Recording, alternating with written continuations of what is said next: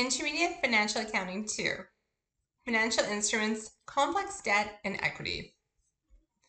The first topic in this chapter is financial instruments, specifically their classification. When classifying financial instruments, we are concerned with the substance of the transaction, not the legal form. Recall in a previous chapter that I discussed substance over form. What does this really look and feel like? Not what are the lawyers or the bankers calling it. Pure debt and pure equity instruments are fairly straightforward to classify. But there are instruments that are part debt, part equity called hybrid financial instruments, which are also called compound financial instruments. In a compound instrument, the portion that is debt and the portion that is equity are classified separately.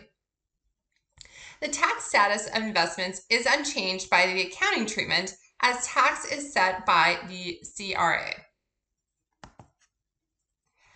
When classifying instruments, we need to look at payment arrangements. With debt, creditors typically have enforceable rights to receive payment, but with equity, typically happens at the choice of the company. The following are a few examples of factors when considering whether or not to classify an instrument as debt or as equity. Are there periodic cash payments made to the investor? With debt, we're looking again at that obligation to pay. The company doesn't choose whether or not it wants to pay interest. Whereas within equity, the company generally gets to choose when to pay dividends.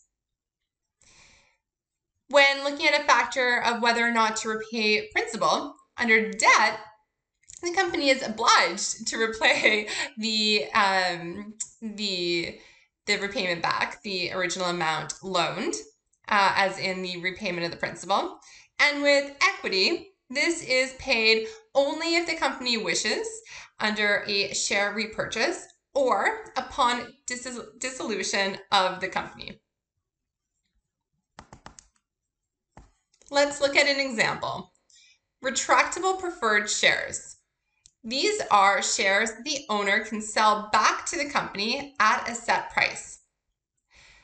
JBC Corp has issued retractable preferred shares with an issue price of $52 per share.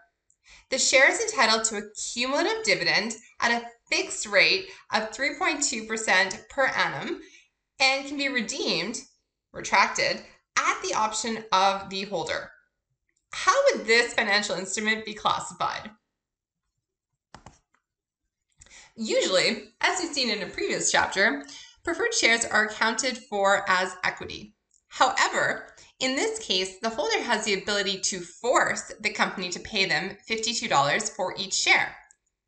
Further, the dividend is cumulative, that is, must be paid, if not in a particular year, then the cumulative amount is paid the next year. This means the holder is entitled to those cash flows. The company is obliged to pay. As a result, these shares are a liability for accounting purposes, as in substance, they are a debt.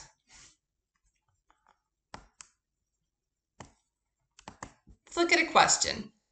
ABC Corp has issued perpetual debt the creditor receives annual cash payments of interest, but the principal must never be repaid unless the company is liquidated. How is this instrument accounted for? Should it be A, all equity, B, all liability, C, part liability for the interest and part equity for the principal, or D, part liability for the principal and part equity for the interest.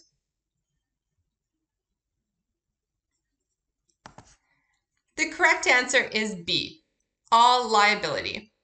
This is because the company is obliged to pay the interest each year and cannot avoid repayment, as ultimately the company will be will be liquidated whether in one year or a thousand years. This instrument is entirely a liability. Thank you, and I'll see you in the next video.